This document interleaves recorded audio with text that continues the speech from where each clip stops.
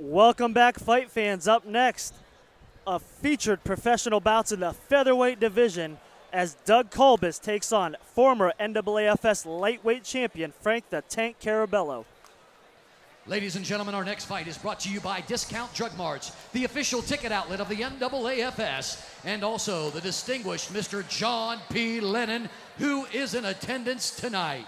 And now, making his way to the John P. Lennon red corner, please welcome Doug Colbus. Well, here comes one of the fan favorites, former national champion Doug Colbus, who is uh, known to be in a, to have been in a few good fights. Absolutely. I mean, here he comes out with his vintage Spartan hat. I, absolutely, that mask. He's an absolute wild man. Comes out with his kilt. Who wouldn't love this guy? He's absolutely out of control. Comes out of Evolve MMA, MMA, two and two as a pro. He's a southpaw.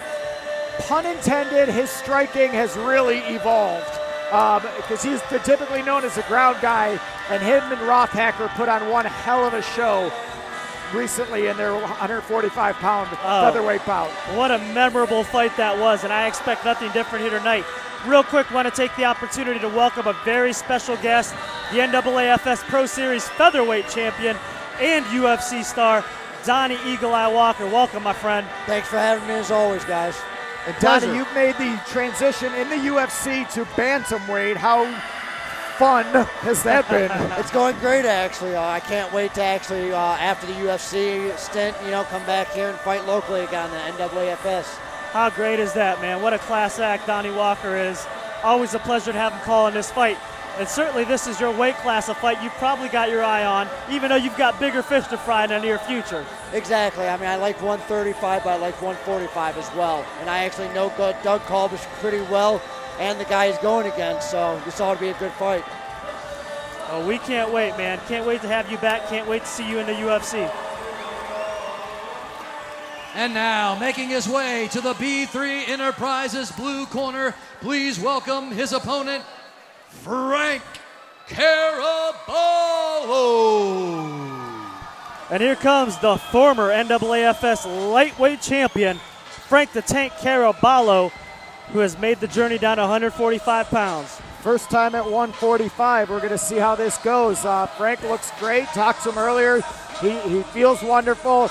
I think this may actually be a better weight class for him as a professional. And as we take a look at our Tim Lally Chevrolet tail of the tape, let's keep talking. You know, that's why I brought it up when Doug came out, Donnie. How difficult is that transition going down a weight class as a pro? Uh, I didn't think it was really that bad as long as you prepare for it. So Frank looks great, and um, you know he uh, he's a, a little bit of a unknown Bellator uh, veteran. Bellator five, I yes, believe, May is. 2009 over in uh, in Dayton. Yeah, Dayton, yeah. Ohio. Ladies and gentlemen, this fight is brought to you by Discount Drug Mart and John P. Lennon. It is your co main event of the evening. This fight is scheduled for three five minute rounds in the NAAFS Professional Series featherweight division. And now, introducing fighting out of our John P. Lennon red corner, this fighter's MMA record is 9 and 2. He stands 5 feet 8 inches tall and weighed in at 144 and 1 half pounds, representing Evolve MMA and Rio Pro BJJ. Fighting out of Cleveland, Ohio, he is the 2009 NAAFS Amateur Series Featherweight National Champion, Doug.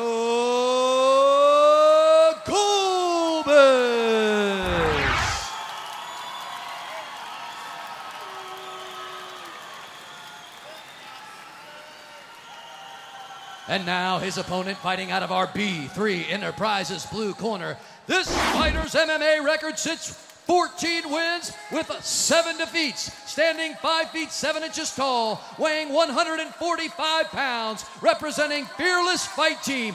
He is the former NAAFS Professional Series lightweight champion, fighting out of Cleveland, Ohio, Frank the King, Caraballo.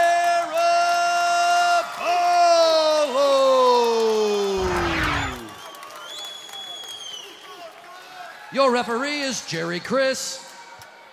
Boy, I gotta say, the eye contact between these two guys was something to see. Yeah, they were staring each other down. Wow. And I gotta say, for most of the fighters in here, I'm pretty pretty neutral. I gotta tell you though, I love when the crowd starts doing Frank the Tank. Frank the Tank. It's such a great great atmosphere. It is. It really is. Um, both these guys have a big. Oh, and man! that is Oh, over. oh, my Wow! Wow! Oh. Wow! Hello, Tim Lally Chevrolet finish of the night. Wow. Oh my God! Don- Donnie Walker was here, by the way. yeah. How come every time I'm uh, helping you guys on this, is quick fights? Oh my goodness. And that's that's the strength of Frank Caraballo. We've seen it time and time again. His hands are nasty. Well, Donnie, you had a chance to spar Frank the Tank uh, a couple weeks ago. It actually went exactly what I thought. His stand-up was going to win the fight if it stayed standing. Doug Colvin went to the ground. So Wow. Holy smoke. Here's a look. Let's take, I mean, boom! Bam. Left hook right on the button.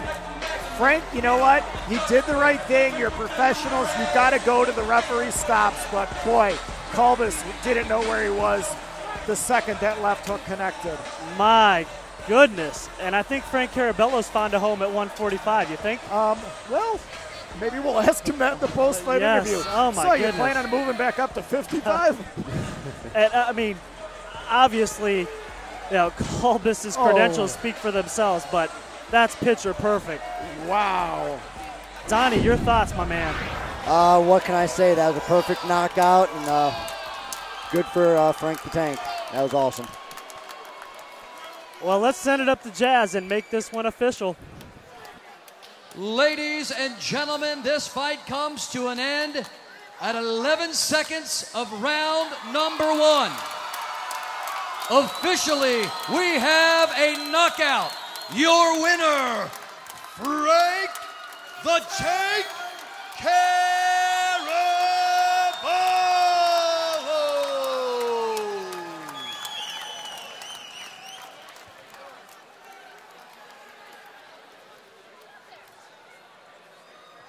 I'm standing here with your winner, Frank the Tank Caraballo, moves up to 15 and 7. I think I know the answer to this question, but I'll ask it anyway. Have you found a home at 145? Yeah, this is the best I ever felt. Even cutting down to 155, I felt worse. So I feel real good, real loose, real fast, real strong. Is there something in video that you saw, or did you just throw that right straight and left hook? Because, man, that hit right on the button, and then you went to work. Well, me and Ed, we've been going over that week after week after week, and we've been training hard. And that's what happens when you train hard. You lay people out.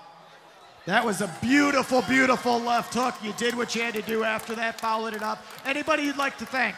I'd like to, like to thank my sponsors, uh, Stalker Fight, uh, KOBC, uh, all my teammates that helped me train, all the fans that came here to support me, and uh, the NAAFS. Thank you. Well, I told Greg during the broadcast I'm very neutral when it comes to calling these fights, but I do love hearing the crowd chant Frank the Tank.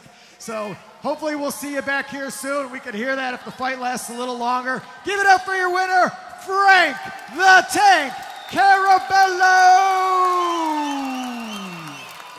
More NAAFS cage fighting coming right up.